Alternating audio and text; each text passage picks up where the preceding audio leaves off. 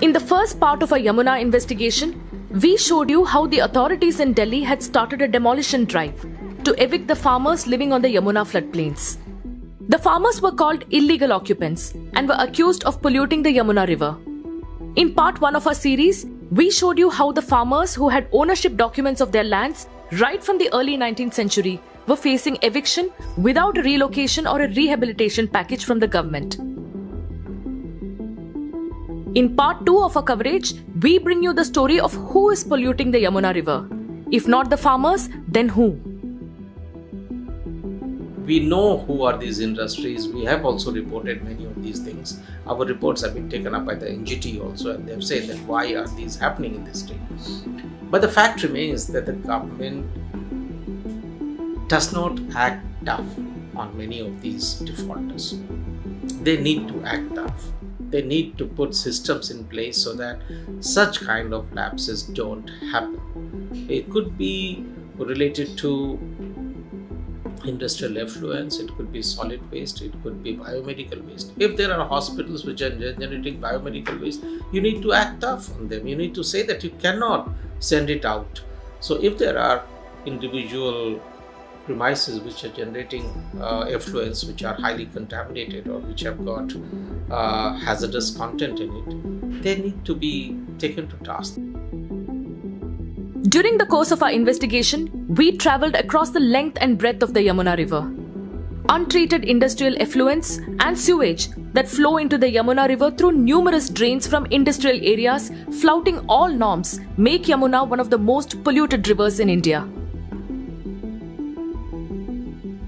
आप देखेंगे वज्रावाद से पहले एंड वज्रा के बाद there is stark you know difference of the colour everything in the Jamuna. और वो मिला आपको, हम जब टेस्टिंग भी किए, पानी टेस्टिंग किए सेडिमेंट टेस्टिंग किए, और वो डिफरेंस था। सेडिमेंट में बहुत मात्रा पे हेवी मेटल्स केमिकल्स जो कि टॉक्सिक से लेड मिला कैडमियम मिला, जो कि अब वाजिरबाद से पहले हमने जो एक किलोमीटर, दो किलोमीटर पहले Jamuna is very clean blue very सुंदर भी लगता है।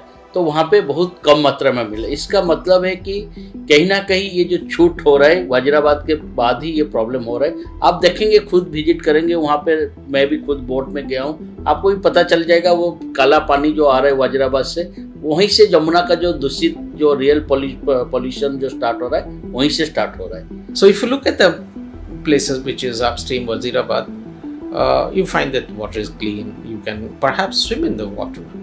And people are using it for various things. But at the moment you come down from Wazirabad and downstream to Okhla and places otherwise, then you really see the froth and white colors and everything that you see. So obviously, when the city starts dumping its waste into the river, in some measure, either treated, untreated, semi-treated, partially treated, whatever it is, then the river starts getting polluted and contaminated. As an organization, we have done many such uh, studies in Yamuna, and we find that there are various levels of contamination in the water. Uh, and some of these contaminants that we find, they don't really come from homes. Their origin is hard to find in homes. Their origin is more of industrial origin. Yamuna the largest tributary of river Ganga flows through a stretch of 54 kilometers in Delhi, of which the 22 kilometer stretch between Wazirabad and Okhla accounts for nearly 76% of the total pollution in the river. While numerous studies have found that it is in fact the industries that pollute the river, often farmers in the Yamuna floodplain are blamed for it. कहीं ना कहीं जो जो हमारा जो industrial water treatment process को हमने ठीक से उसको हम क्योर नहीं कर पाए। इसी के मैंने इसी के कारण ही ये जमुना पॉल्यूट हो रहा है और वो एक फ्लोट पेड में जा रहा है एग्रीकल्चर सिस्टम को भी पॉल्यूट करता है। तो फार्मर्स को ब्लेम करना थोड़ा मुझे लगता है कि ठीक नहीं रहेगा। कंपनियों से सारा जैसे कचरा वगैरह केमिकल वगैरह, वो निकलता है, फिर नाले में जाता है, नाले से फिर जमुना में गिरता है। तो उससे क्या होता है कि पानी वो काला हो जाता है। तो उससे पॉल्यूशन फैल रहा है और ना कि यहाँ के जो लोग बाग हैं जो खेती वगैरह करते हैं उनसे पॉल्यूशन बिल्कुल नहीं फैल रहा है क्योंकि जो वो पानी का इस्तेमाल करते हैं वो बोरिंग सिस्टम से जो पाइप अपना खुद लगा रखे बोरिंग का और उससे वो पानी का इस्तेमाल करते हैं According to the Central Pollution Control Board that looked into the drainage pattern of River Yamuna within the Delhi stretch, at least 23 drains discharge wastewater in River Yamuna. As per the CPCB report, main causes for pollution in River Yamuna are discharge of treated or untreated sewage and discharge of treated and untreated industrial effluents.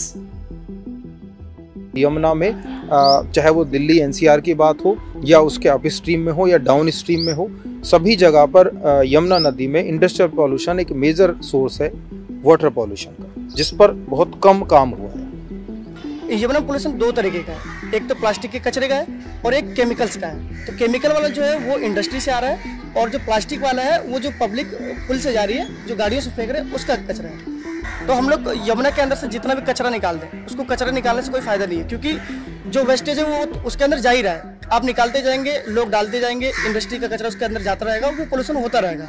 जब तक इस industry को जितने भी यमुना के किनारे industry लगे हुए हैं, दिल्ली के अंदर लगे हुए हैं, उनको हम लोग रिलोकेट नहीं करेंगे। तब तक जो है यमुना का पोल्यूशन खत्म नहीं हो सकता।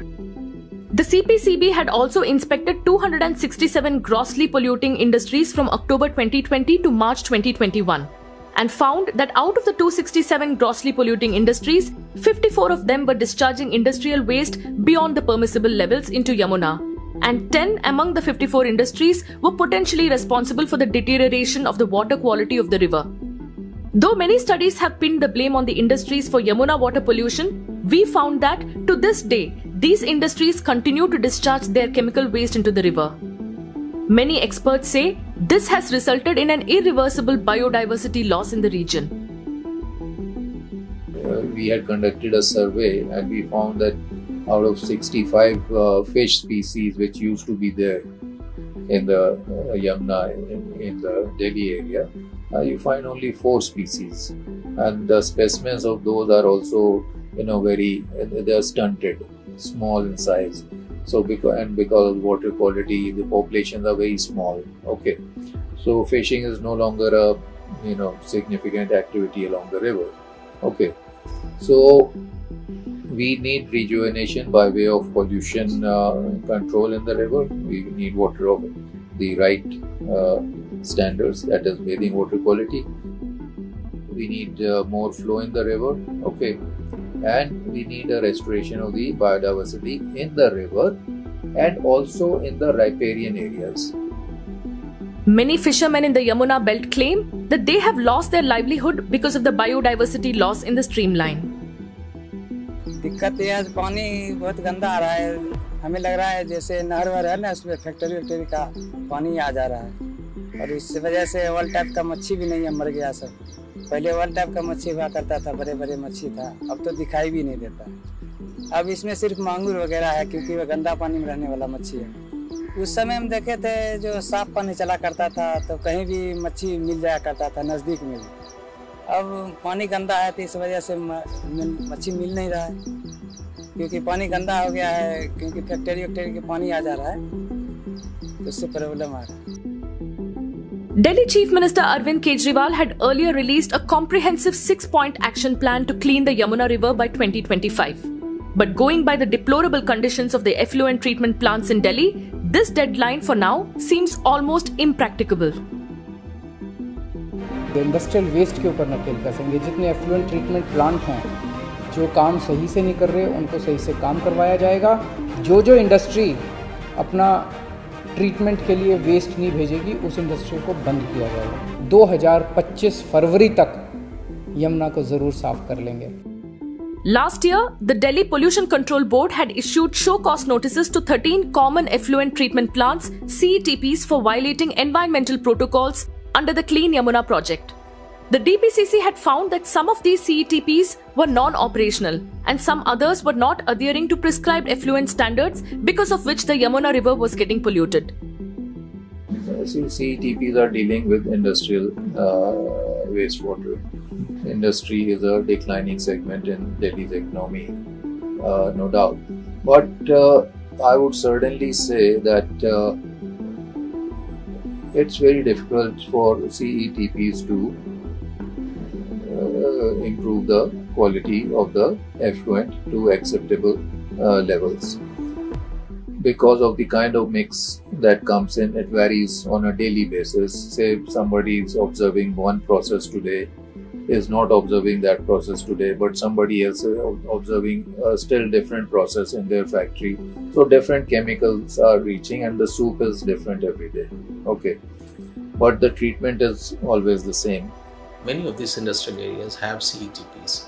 The question is also about the efficacy of these CETPs. That is also something that people know it for a long time that most of these CETPs are not as efficacious as they were intended to be. So they need to be revamped, they need to be checked, they need to be monitored on a regular basis 24/7 almost that what is the kind of effluent that is released post CETPs are they bypassing the system of CETPs yes they bypass the system of CETPs also and again it is if it is being brought out by journalists by activists by people who are playing the watchdog role or or citizens as such i think the government has the kind of wherewithal to find out as to where is this happening and why is this happening and why can't the government take action to close it down. Over the last many years, successful governments in Delhi have drawn out grand plans to get the Yamuna River cleaned. But year on year, the Yamuna River is only getting more polluted. The fact is that the authorities have not been able to even fix the sewage treatment plants. Cleaning Yamuna is now reduced to a political slogan alone, which is often drummed up during elections. एस से पूरे शहर का गंदा पानी treat होता है और सी इंडस्ट्रीज़ के लिए डेडिकेटेड होता है, एक इंडस्ट्रियल क्लस्टर में लगता है। लेकिन सी को कई बार बाईपास कर दिया जाता है। म्यूनसिपल कॉरपोरेशंस भी खर्चा नहीं उठा पा रही है, उनका मेंटेनेंस नहीं संभाल पा रही है। अगर उनको बजट मिलता भी है तो करप्शन के चलते शट डाउन किया जाता है। या जो पैरामीटर्स हैं डिस्चार्ज के, जो वाटर डिस्चार्ज होगा पोस्ट ट्रीटमेंट ट्रीटमेंट के बाद आना चाहिए जो पानी बाहर और उसकी जो क्वालिटी है वो इंटरनेशनल स्टैंडर्ड है सी के भी स्टैंडर्ड्स हैं उनको उनके मुताबिक पानी बाहर नहीं आता है सी से एस से जर्नली कुछ ही S T P C T P हैं जो एज पर नॉर्म्स ट्रीटमेंट के बाद पानी को डिस्चार्ज कर रहे हैं नदी में या नाले में While the industries are able to bypass the norms set by the environment regulatory bodies, the farmers often face the wrath of the authorities. Environmentalists say a clean Yamuna is only possible if corruption and the nexus between the industries and regulatory bodies are weeded out. Pollution के control के लिए हमारे यहाँ effective law हैं। कुछ चीज़ों को छोड़ दें तो ज़्यादातर लॉज अच्छे हैं और इम्प्रूवमेंट की हमेशा आवश्यकता है, लेकिन हमारे यहाँ काफ़ी अच्छा रेगुलेशन है, लेकिन इम्प्लीमेंटेशन इम्प्लीमेंटेशन मेजर प्रॉब्लम है। एनवायरमेंटल मिनिस्ट्री के डीपीसीसी जो दिल्ली पॉल्यूशन कंट्रोल कमेटी है या यूपी पॉल्यूशन कंट्रोल बोर्ड है हरियाणा पॉल्यूशन कंट्रोल बोर्ड है, उनका काफ़ी लगाम है। वहाँ से अप्रूवल लेने के बाद ही आप इंडस्ट्री लगा सकते हैं। लेकिन अभी ईज ऑफ़ डूइंग बिज़नेस के नाम पर और और कई कारणों से करप्शन के चलते एनवायरमेंटल नॉर्म्स को फॉलो नहीं किया जाता है। ब्राइब दे दी जाती है मंथली ब्राइब जा रही है और बहुत सारे तरीके हैं कि बाईपास किया जा रहा है चीज़ों को। Are units are you know unregulated and you know for them to cut down on their costs okay? And thus be, viable. They have to uh, you know overlook uh, the implementation of pollution uh, regulations not install pollution uh, controlling equipment and so on. So you know inspectors come they are managed okay? And uh, unless the government takes you know strict action this will you know be a regular process.